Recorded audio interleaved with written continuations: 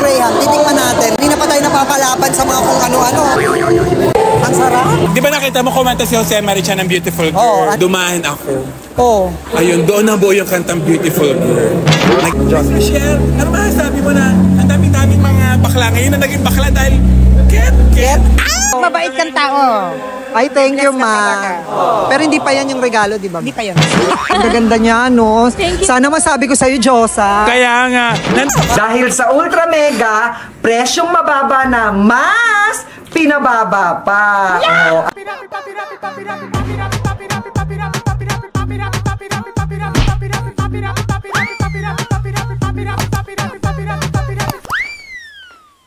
ngayon sa Green Cross Sunrocks, di ba? Pwede tayo sumali dito. Ito talaga, ito ginagamit ko talaga to. Ano, paano? Paano ba to, ate? Paliwanag mo. Daan nyo lang po siya hanggang makarating po doon. Iwasan niyo po yung mga germs. Ah, parang iwasan yung mga germs. Na huwag malaglag ang mga ball. Huwag malaglag yung ball. Kailangan makarating sa Oo. target na ako. Ang bongga nitong larong to. Oh, itry natin.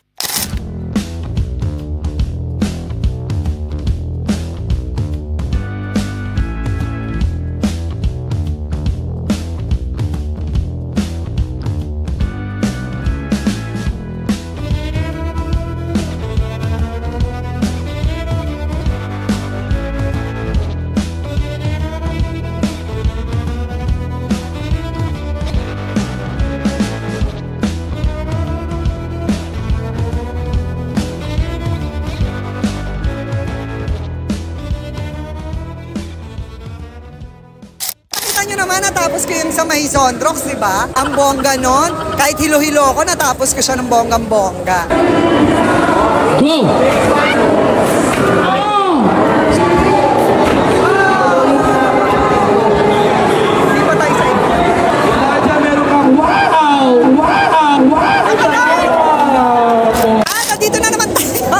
sa mga pre-taste. Siyempre, ang Salon Pass. Ito, mahilig tayo sa mga luncheon meat. Ang ganda rin ni ate. Natin. Dahil mahilig tayo sa mga wine. Sarap talaga ng churros. Thank you, ate. Alam mo si ate mukhang walang lamig at walang sakit sa katawan. Puro alak. Parang ngayon, mapapalaban tayo sa mga gatas. Cream, all-purpose cream. Meron na rin sila dito. Mango Graham, titikman natin. Hindi na pa tayo napapalaban sa mga kung ano-ano.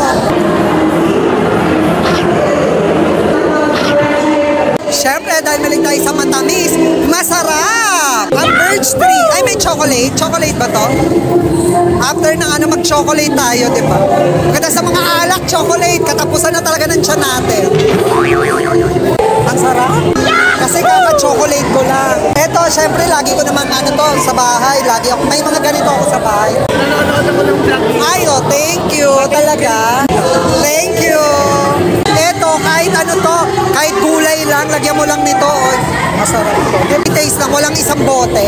Eto lang ang ginamitan ng sauce, yung pansit canton. Hindi mo kailangan ng iba't ibang ano. Parang hindi man lang ako mapupulunan nito. Dahil favorite ko mangosteen, itatry natin ang mangosteen. Uy, ang sarap. Lasa talagang mangosteen. Ang sarap, promise. Diba nutrition? Duman tayo. Parang di tayo binigyan ng nutrition ng ganito.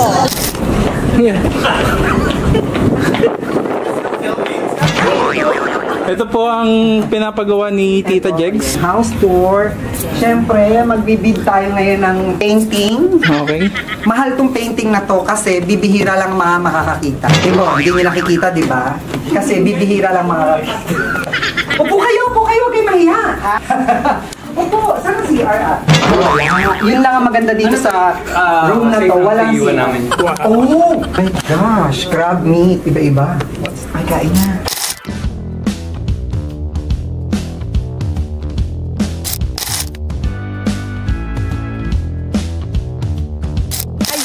Nakita nyo naman, nandito na kami ngayon sa dinner concert, syempre, ng Ultra Mega. Ayan. Nandito kami ngayon sa Kada, dito ginanap. Diba? Hindi pucho-pucho, shala. Ang nasa stage ngayon ay si Carlos Yulo at si Mamang Pokwa. Dito may mga kavana. Actually, may mga may mga makikita pa tayo mamayang artista, hindi lang sila. So dito tayo ngayon sa backstage. Eto ang nagaganap. Nakita nyo naman ang mga suki ng Ultra Mega. Oh. Ang bongga talaga ng Ultra Mega. Bukod sa may pa-concert, may pa-dinner pa. O, di ba? Bukod sa marami ka nang naiuwi, marami ka nang tikman na pre-taste, may pa-dinner pa at concert, ba? Bongga. Alika, dito tayo mamaya sa backstage.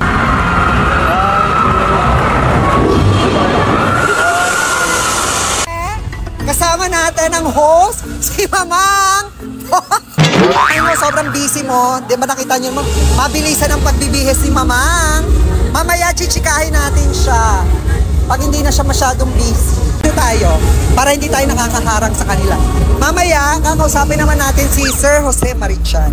Masyado na kasing ano, may ginagawa pa si Mamang. Masyado pa siyang busy. So, mamaya chichikahin natin si Mamang. Nakikigulo sa vlog niya. Hindi, bukod kasi kay Mamang Pokwang, sino kasama ni Mamang Pokwang? Paolo Abilino. Nakita mo na ba? Hindi pa, kaya excited ako eh. Tess, ano ba yung Diyos, ha? Ayan. Di ba nakita mo kumanta si Jose Marichan ng Beautiful Girl? Oo, ano? Alam mo yung trivia ng kantang yan? Ano? Nagkakape si Jose Marichan sa Starbucks. Oh. Dumaan ako. Oh. Ayun, doon nabuo yung kantang Beautiful Girl. Nagawa niya agad ng kanta. Ang tagal na niyang kanta na yun. Kaya nga, naalala niyo naman dumaan ako. Feeling ko nakainom siya ng expired na kape. Ako Tatanong ko yan ha. At eto na, si Rochelle. Alam mo, hindi lang talaga ako naka-outfit eh. Pero kung nakaganyan din ako, kaya kong makipag-showdown. Kay Miss Rochelle. Pero hindi, ganito. Office-office lang tayo. Hello po, Miss Rochelle. Gano'n daw baka ambush? Diyos, Michelle, ano ba sabi mo na ang dami-daming mga bakla ngayon na naging bakla dahil ket, ket, Get out! Bakla na ako nun. Mas naman di lang, mas naman di. Kaya ang pinangarap ko maging isang dancer ng noontime show. Hanggang pangarap ko maging dancer ng noontime show dahil sa kanila. Ay, totoo ba? Pero hindi mo kaya makipag-showdown. Sabi ko kanina, nakaganito kasi ako outfit kung medyo nakaganyan lang din ako. Siyempre, walang makakatalo kay Miss Rochelle, no? At Miss Michelle, congratulations sa napakaganda mo. Ah, napakagaling mong acting. Yes, hindi lang sa dancing. Sobrang amazed na amazed si Josa. Yes. Sabi niya, gusto niya mag-perform. Sabi ko, hindi mo kayang sabihin sa organizers na isingit ka dun sa... Huwag kang umihi. Paano mo sasabihin? Kung ako'y mag-aasa. Paano mo nga sasabihin? Kaya ko, mga baka naman pagka medyo nagkakaroon ng technical problem, baka pwede sumalang muna ako. Kaya May technical problem nga, paano ka sasalang? Ma malay mo, nagkakagulo sa rapol, sa mga Ah, rapol, tulog ka lang. rapol. Sabi mo kanina, alam mo yung mga kanta ni Jose Marichan. O anong title niya? Yun nga, inablock ako kanina, wala akong maisip ni isa. Samantalang kinakanta ko siya every last show ko. Basta may mga show ako, mga piyestahan, every Christmas, yun ang kinakanta ko, a perfect Christmas. Ayan, bababa na siya. So mamaya, tatanungin natin pag nagkaroon tayo ng chance. Sa palagay mo, pwede pa dito yung kanta ko, yung Alin? ang bakla kapag umi. Pagkatapos, pagkatapos siya ni Sir Jose Marichan. Pwede ba dyan yung, yung aking mag-aasawa, yung Ano? Sisi. sisit? Ah, Ayan.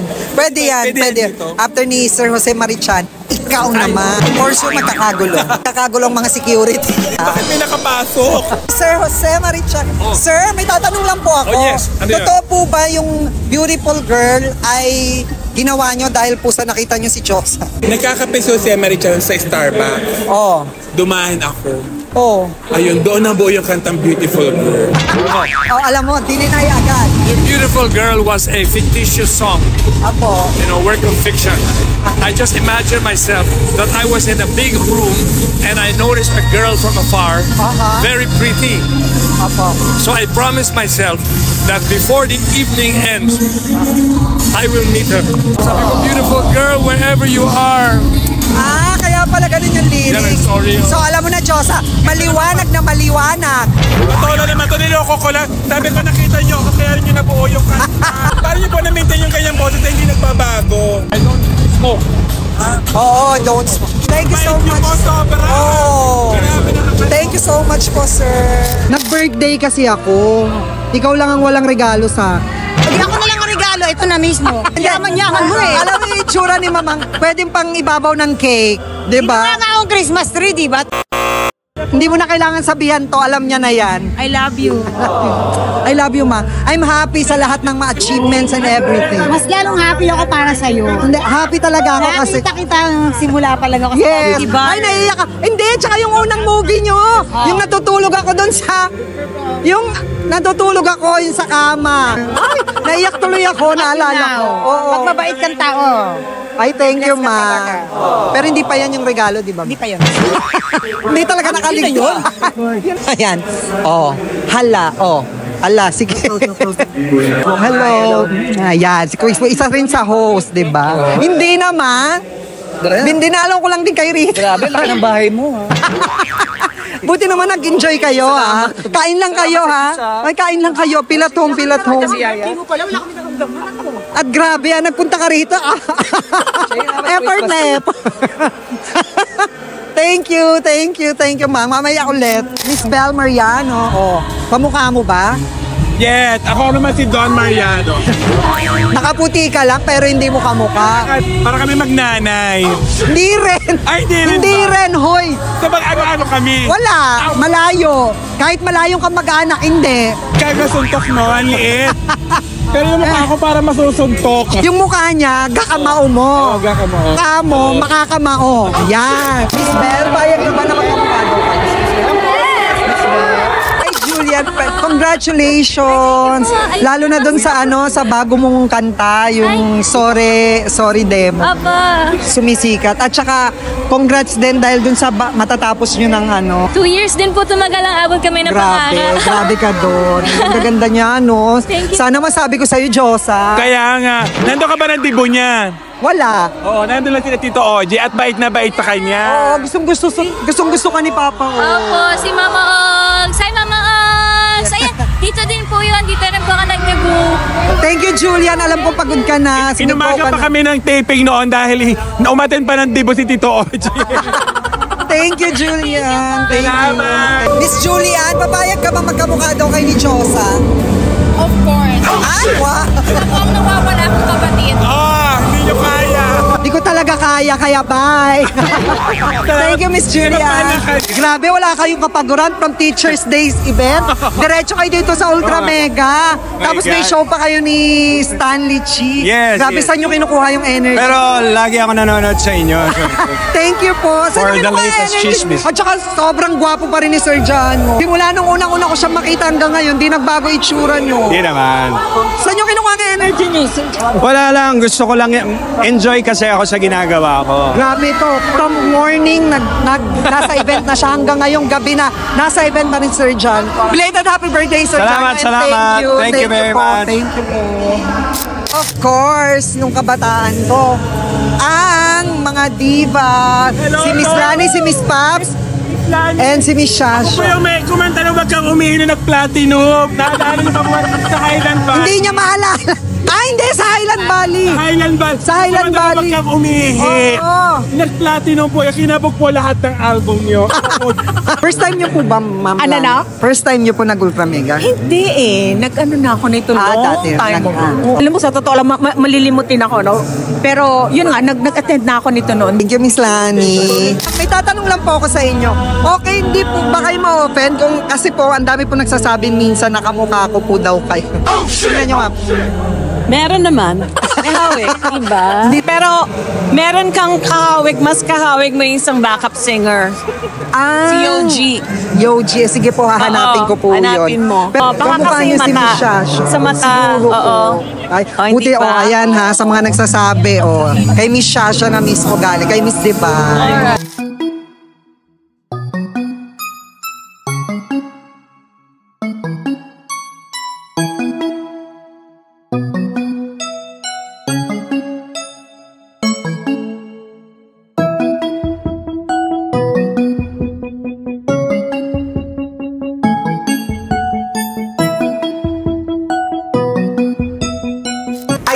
Ayan, Jegster. So, natapos na ang aming event. Dito ang Ultra Mega Expo 2024. Alam nyo, nagsimula kami kanina, may araw pa. Ngayon, natapos kami ng paumaga na. ba? Pero ma-share ko lang, kasi kanina, di ba, nakita kami ni Mamang Pokwang. So, sabi ko, alam mo, I'm happy for you, ma Mamang. Tapos sabi niya, mas masaya ako sa'yo. Kasi, totoo, naalala ko tuloy bigla, alam nyo, slight na iyak ako, Jegsters. Kasi naalala ko, yung kauna-unahan ko siyang na-meet, ah, PA pa ako ni Meme noon, yung nagsushoot ng movie ng Apat Dapat, Dapat Apat. Ah, yung standby area nila, doon ako natulog sa kama nila. Tapos tandang-tanda ko, si Mamang, pinanonood niya ako, tapos sabi niya, kaninong PA to? sabi niya ganon.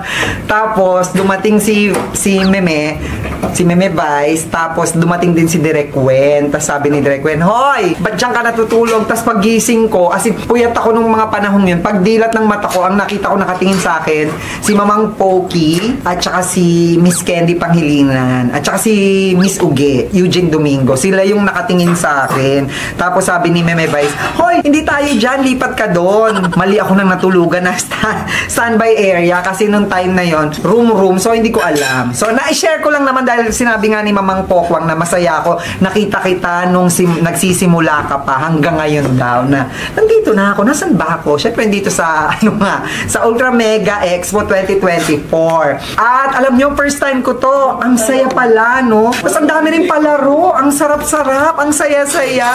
Kaya alam niyo yun, Jexters, feeling ko mauulit to. Dahil sa Ultra Mega, presyong mababa na mas pinababa pa. Yahoo! Oh, at kung nagustuhan nyo to, please like, share, and subscribe. And don't forget to click the notification bell para updated tayo sa ating sa aking mga bagong vlog. Siyempre, Josa. at akin din po, social media account, Josa Pocon. Yeah. Thank you, Tita Jel. Si Josa talaga, tawagin natin siyang kidrong kidrong. Ah, Huwag kang susuko. yeah. Ayan. Bye, Jaxer! See you again sa next vlog. Pirapi, papi, rapi, papi, rapi, papi, rapi.